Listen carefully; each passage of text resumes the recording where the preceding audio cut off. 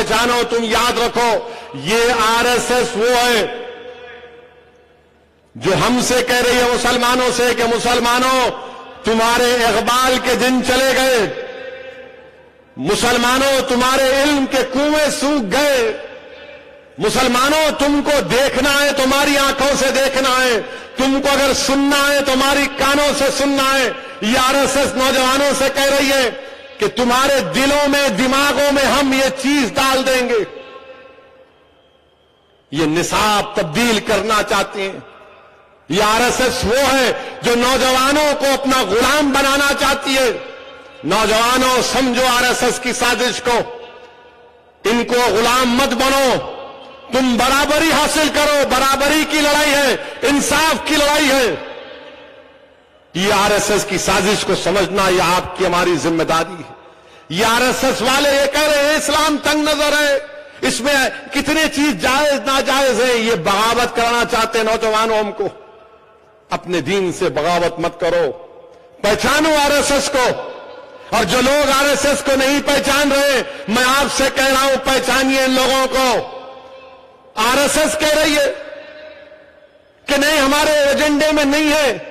ان کے ایجنڈے میں سب ہے یاد رکھو، یہ آر ایس ایس بھارت کو، ہندوستان کو ہندو راشٹر بنانا چاہتے ہیں۔ یہاں پر ہندوستان کے غیور مسلمانوں کو دوسرا درجے کا شہری بنانا چاہتے ہیں۔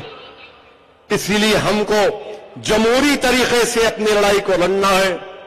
امن کو برقرار رکھیے۔ یا من کو برقرار رکھیے۔ اور بہت سے لوگ بہت سے باتیں کریں گے۔ میرے مخالفین سے میں اتنا ہی کہوں گا کہ آپ اب میرا کچھ نہیں کر سکتے۔ میری رگوں میں جو خون دوڑ رہا ہے وہ شہادت کے لیے بے چین ہے۔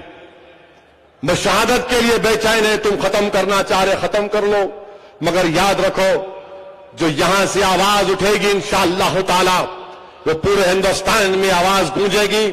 اور میری اللہ سے دعا ہے کہ اللہ سبحانہ و تعالی نبی کریم صلی اللہ علیہ وسلم کے صدقے طفیل میں اللہ ہم کو ان حالات سے بچائے۔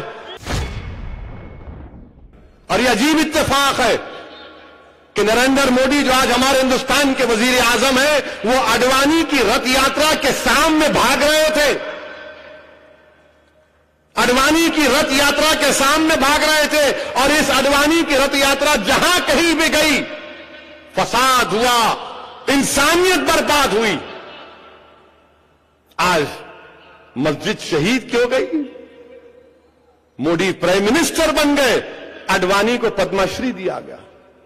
اور آج اڈوانی کہتے ہیں کہ رام جنم بھومی کی تحریک، آزادی کی تحریک کے بعد سب سے بڑی تحریک تھی۔